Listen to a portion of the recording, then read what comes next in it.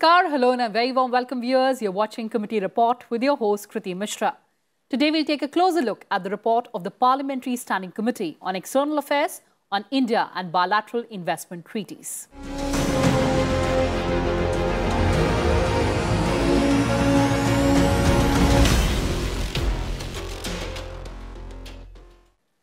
Bilateral Investment Treaty is an agreement for recording protection to investments by nationals and companies of one state in another state. International investment agreements, which include bilateral investment treaties and investment chapters of trade and economic agreements, provide for a reciprocal commitment to protect the private foreign investments in each other's countries. In the last few decades, bilateral investment treaties have become an integral part of international investment relations. Their existence has a great impact in influencing formulation of international public policy. India's tryst with bilateral investment treaties started in 1994 when it signed its first such treaty with the United Kingdom. It subsequently went on to sign it with more than 80 countries. These treaties were largely negotiated on the basis of the Indian Model BIT text of 1993. India revised its Model BIT text in 2015.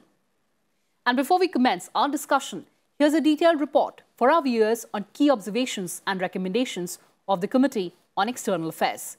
Take a look. The Standing Committee on External Affairs submitted its report on the subject India and bilateral investment treaties on September 10, 2021. Bilateral investment treaties are reciprocal agreements between two countries to promote and protect foreign private investments. India revised its Model BIT text in 2015. The committee observed that since then, India has signed new bilateral treaties, investment agreements with only four countries, and is negotiating with 37 countries or blocs and terminated its older BITs with 77 countries. The Parliamentary Panel on External Affairs noted that BITs have the potential to attract foreign direct investment by providing prospective investors with a higher degree of confidence in their investments. It recommended signing new BITs with countries with which India had such treaties in the past and early completion of treaty negotiations by the Ministry of External Affairs in coordination with other ministries and departments. BITs generally provide a mechanism for settling disputes between investors and the country of investment. The most preferred mode of settling such disputes is arbitration, where parties agree to have their dispute decided by a neutral person instead of going to the court. The committee noted that so far there have been 37 notices of dispute or letters intending to raise a dispute against India under various BITs. To avoid such losses in the future, the committee recommended timely settlement of investment disputes through pre arbitration consultation or negotiations. The committee also noted that negotiations with the USA on BIT are being held since 2009 and desired that process of negotiations should be started and concluded early so as to contribute towards increasing investment in priority sectors and high technology manufacturing. The committee noted that while the Model BIT 2015 is an improvement over the older BITs, there is still scope for fine tuning some of its provisions. And for deeper insights on the bilateral investment treaties and on the key recommendations of the committee, I'm joined by an illustrious panel of guests. Joining us through virtual platform, Mr. P.P. Chaudhary, Chairman, Parliamentary Standing Committee on External Affairs. Mr. Damu Ravi, Secretary ER, Ministry of External Affairs. Professor Swaran Singh, Chairperson, Center for International Politics, Organization and Disarmament, JNU. And Mr. Chaudhary, let me begin the program with you. And before we get into the specifics, take us through the broad highlights of the report presented by the External Affairs Committee on India and bilateral investment treaties. This is basically this, uh, uh, this first time this we have entered into uh, this bilateral investment treaty uh, post 1991 uh, reform in 1994. And no doubt the bilateral investment treaty was signed with 84 countries, but was enforced not with all the countries. And for such a long period, we never revisited with respect to those provisions of the treaty with respect to the definition of the investors, definition of the investment. And on account of this, large number of cases arose, and uh, almost 37 cases were of the arbitrations arose out of those because this words, the definition was uh, loosely drafted and those were ambiguous. And on account of that, the cases were arose. And the first time in 2015, this new model of bilateral investment treaty was uh, uh, this uh, the earlier notice of termination was given and new treaty came into force. And these bilateral investment treaties are no doubt uh, very, very important for uh, this uh, inviting this investment, FDIs and all this. In case where the protection of the investment is not there, then this investor is not inclined to invest. But that, that can't be the sole factor but this is one of the very important factor. So even, even in absence of this, we, we have received uh, this uh, foreign direct investment and investment in our country. But at the same times, there are other factors like infrastructures, manpower, and uh, ease of doing business, the productivity, and this uh, market. There are so many other factors which are very, very crucial, but at the same time, the whether the investment by bilateral treaty is there, then the investment is secure and safe. So now that the India realized that we have to strike a fine balance between the regulation by the government and at the same time the protection of the investment. So both the things have been taken together. Now this model is uh, no doubt certainly improvement uh, on the earlier model, but it needs revisiting time to time and best internal practices are required to be introduced in this bilateral investment treaty. And I think the coordination between uh, this Department of Legal Affairs, Ministry of External Affairs, Depart Department of Economic Affairs, and the other department are required to be taken into consideration. But the investment is not limited on only to the this, uh, production, but it is also related to goods and services. So no doubt, uh, some of the uh, we are also having the wider level apart from the investment, uh, this uh, bilateral investment treaties, we are also having FTA. Uh, this and this CA, CA, the Comprehensive yes. Economic uh, Cooperation Agreement, Comprehensive Economic Partnership Agreement, and these are part also the part of the bilateral investment treaty. Absolutely, so, sir. So you made a very important point about this, FTAs and also bilateral investment treaties. To get an understanding, Mr. Ravi, to set the tone and tenor of the discussion, help us understand the difference between bilateral investment treaties and free trade agreements. Well, um, uh, thank you very much. Uh, I'm really honored to be on this panel uh, with the distinguished uh, panelists here, the Honorable Member of Parliament and Professor Swaran Singh. But let me tell you, in the context of the bilateral FTAs, you know, while most bilateral FTAs uh, are sometimes standalone, but there are also chapters relating to investment treaties. And these investment uh, treaties also have provisions that have a lingering effect. You know, and, and these are there are sunset clauses which go on for 10 to 15 years, even though you might terminate investment treaties. So we have to make a distinguish, distinction between these two. Uh, when you do an investment treaty standalone or when you do an investment chapter under an FTA. So this is uh, where uh, we have to very slow, carefully navigate when you negotiate uh, chapters uh, differently. So India has entered into um, seven years, uh, about 20 of them uh, in the last two decades. Uh, some of them have invested chapters, investment chapters, but a lot of them are standalone. But you've seen since uh, the 1994 uh, BIT text, as the Honorable Member of Parliament has already mentioned that we have concluded more than 80 uh, FTA uh, uh, investment treaties, and 74 of them are enforcement enforced. But there is now a move to to, to terminate them because you have a new BIT under the 2015 model text where the provisions have changed. So the navigating these complex processes into ministerial consultations on a regular basis, involving Ministry of External Affairs, Department of Economic Affairs, and the Department of Legal Affairs. Thank you. All right, uh, Professor Singh, coming to you now. Investment arbitration requires lawyers and judges who possess the expertise and experience at international forums. Now, the committee noted that India lacks inadequate number of persons who have the required expertise and experience in this domain. How do we address this critical problem? Thank you, Kriti. Uh, uh, I'm happy to join this uh, very interesting uh, program on BIT. And first thing I think uh, I need to underline is why are we discussing this? You would notice that last year we celebrated the fact that India received for 2020-21 record number of uh, almost 82 billion dollars of investments. This has never happened before. Uh, and moreover, it was said that in you know 20 years of this century, where we have received about 764 billion dollars of foreign direct investment, last seven years itself received 440 billion dollars of yes. investments.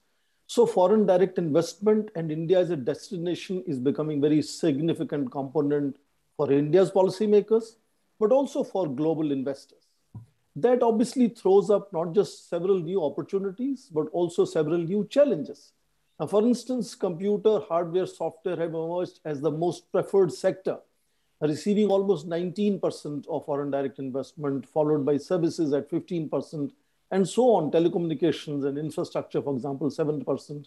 So it's a change of the entire context, which is leading to whole set of uh, policy reforms.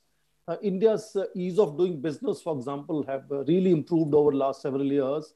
India has done several other, for example, uh, the decision of uh, no retroactive taxation. several other such decisions of both initiatives and creating agencies has led to the fact that a model, you know, BIT that was created in 2015 today needs to be revised.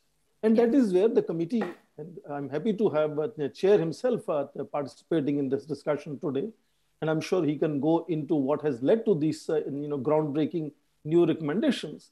Is to say we need to achieve certain efficiency in achieving BITs, but also make it detailed and exhaustive so that we don't you know, end up again into dispute resolution issues that we have faced over a period of time. We have had certain uh, dispute, uh, disputes happening now come to your question, uh, Kriti, which you mentioned, why it is that we need to create a pool uh, of uh, both lawyers and judges with enormous expertise and experience in uh, arbitration at the global level. India has already signed, ME has signed an agreement with Permanent Court of Arbitration that we could do uh, a certain amount of arbitration within India itself.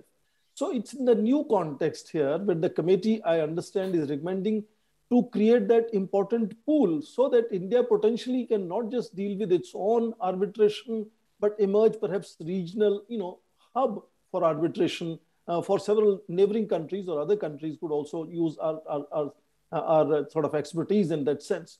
So fundamentally, Kriti, because the context is changing rapidly, is why there is need to sort of revisit and review the model that we have had of 2015 and when committee is reviewing that model, committee is also recommending several other initiatives and things that India needs to do to fine tune, streamline, and sort of take best benefit of this India becoming a you know, huge attraction for, for global investors. Of course, India is also now beginning to be an important investor abroad. That's a separate story. Absolutely. So you're saying that we have to develop our country into hub of international arbitration. Let me take that to the chairperson of this committee. Mr. Chaudhary, the committee noted that the new Delhi International Arbitration Center has been established. The committee desires that this center should be promoted and strengthened.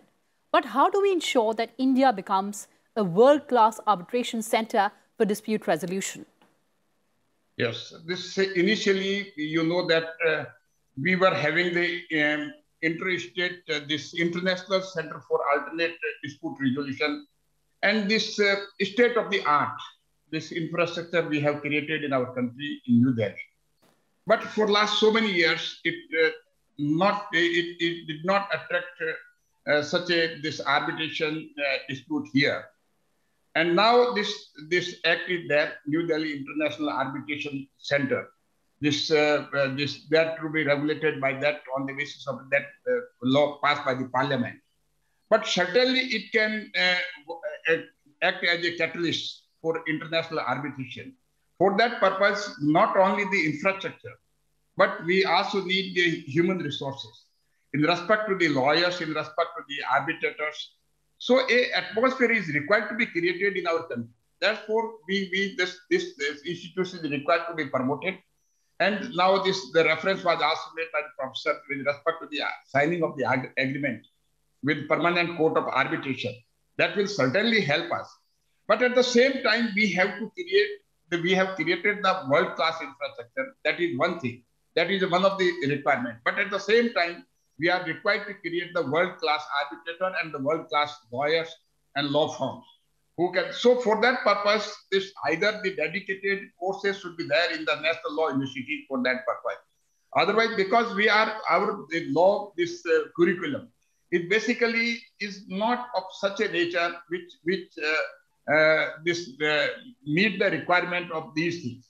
So we can't develop the uh, at, after passing the law, the candidate uh, passing the law schools. We can create from the bottom at the ground level. So at the in the university itself, we can have a, um, a dedicated department for this purpose because in coming year, because we see that goods and services as well as uh, this larger investment can be there, the entire globe can be one market, and the large number of arbitration issues can be there.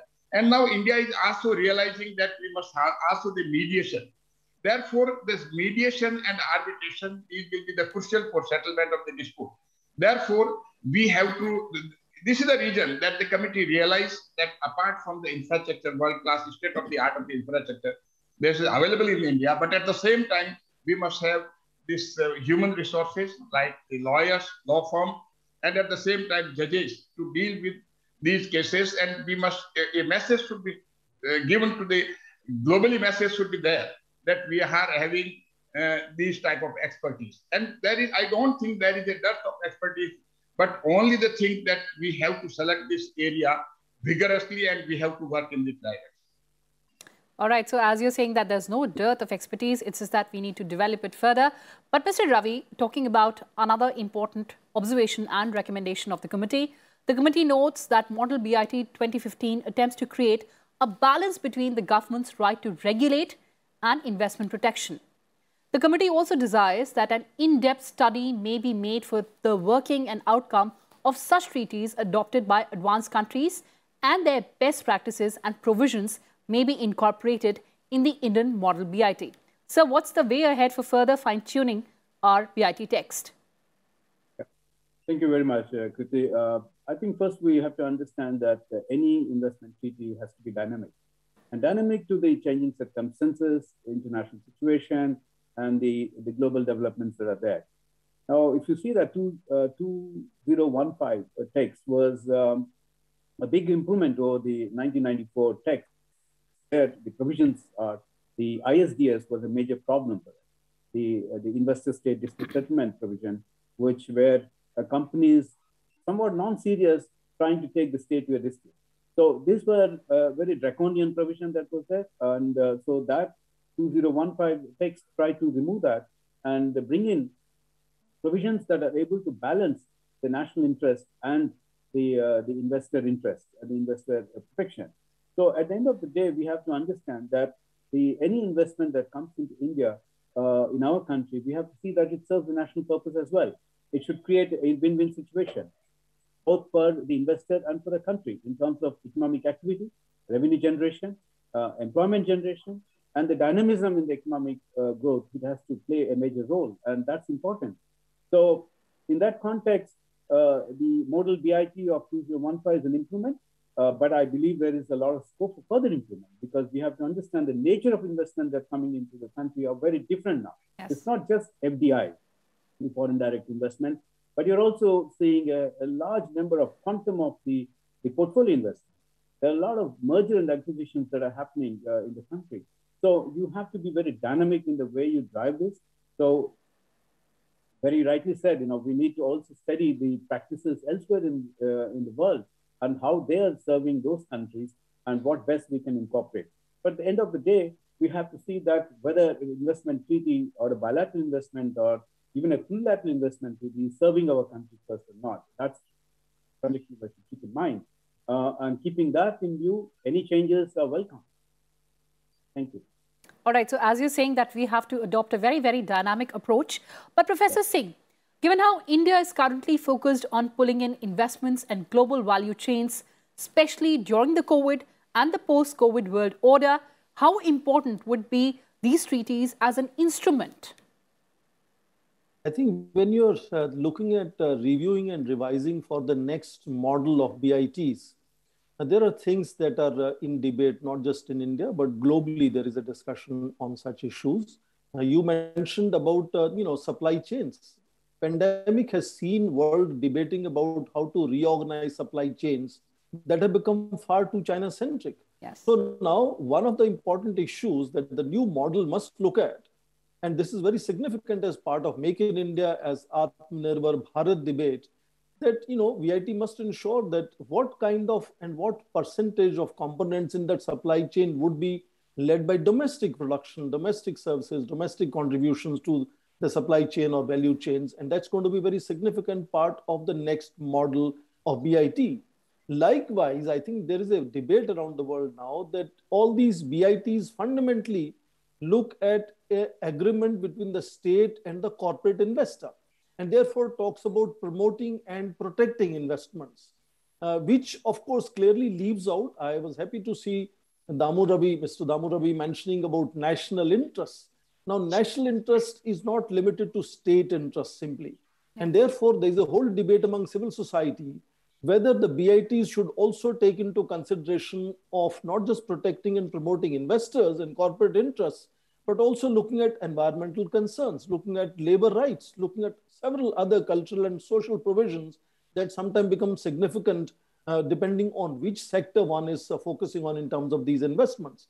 And another thing is to stretch that whole space of arbitration, create stages where before it goes as far as into a formal arbitration, create stages of pre-arbitration consultations, yes. pre-arbitration negotiations, where you have this leeway of resolving a large number of issues before making them rigid and sort of going to a third party, uh, which makes it difficult. And of course, in third party arbitration, again, there are institutions which state creates, and then there are also individuals which parties to dispute could, could come together and choose sometime an individual deciding arbitration between them state can definitely emphasize on building institution. And that is where I think Mr. Chaudhary's report is uh, focusing on how to strengthen both the pool of people who will deliver these arbitration or pre-arbitration negotiations and consultations to resolve some of these disputes, but also how to strengthen institutions potentially to go back to the ambition of making Indian hub and hub of arbitration, but fundamentally avoiding situations where you have to go to arbitration in case of investments from other countries. All right, so there should be no ambiguity. And also, you mentioned about the sectors. Let me take that question to the chair of the committee. Mr. Chaudhary, the committee notes that BITs must be selectively in identified priority sectors. Sir, what could be those sectors? The sectors are required to be selected uh, by the, this close cooperation of the De Department of Economic Affairs, Department of the Legal Affairs, Department of the, this Ministry of External Affairs, as well as the this uh, the concerned department, uh, whose uh, this particular sector is related. So it is we can't make the stereotype. So it is basically it is a dynamic, basic based on the the global market and so many issues. So those issues are to be selected on on the basis of those. The FTA is required to be executed this other agreement and bilateral investment treaty, and that is to be looked in accordance with those sectors. So the sectors can't be specified by the committee. Therefore, we have made it open for the government to decide those sectors. After this, uh, this cooperation, close cooperation with the various departments who are concerned in this connection. All right, let me give the last word to Mr. Ravi. Mr. Ravi, as the chair is saying, that these sectors have to be identified after close coordination between different ministries and departments. What's the way ahead, sir? Well, uh, definitely. I think uh, uh, the way Indian economy is going, uh, there's varied interest um, uh, to make investments work. Okay, investments in areas where I believe in a manufacturing sector is very, very important for us. So that's where we need to look at the green investments coming in, the FDIs in manufacturing, the PLI scheme, for example. The product linked incentive is a very, very, very strong uh, attraction for foreign investments to come into India. And there are various sectors mapped out there. But I think, you know, when we link the investment to uh, the employment generation, it would make immense sense. I think uh, then again, uh, you know, the interministerial group will look into these uh, the sectors that would be uh, useful. Uh, they're generating employment, they're creating economic value for the country, and that's a process. Uh, and I would definitely see that uh, in the manufacturing sector is a great um, uh, opportunity. And MEA will continue to play a, a positive role in, uh, in driving this uh, initiative in, in, as a goal of, goal of government of India. Thank you. Absolutely, Mr. Ravi, and I'm sure the recommendations of the committee would be extremely instrumental to Ministry of External Affairs as well as other departments. So the committee provided these valuable inputs after several meetings with all stakeholders spanning over several days. Here's a report. The committee selected the subject India and bilateral investment treaties for detailed examination during the year 2020-2021. The committee held briefings and took oral evidences of the representatives of the Ministries of External Affairs, Finance, Law and Justice, and Commerce and Industry. The committee sought views of several experts. The report was considered and adopted by the committee at the sitting held on 11th August 2021. And with that, it's a wrap on the show. Thank you so much for joining us, Mr. Chaudhary, Mr. Ravi, and Professor Singh. Next week, we'll return with key highlights of another parliamentary committee report. Till then, take care and stay safe and also stay tuned to Sansad TV. Namaskar.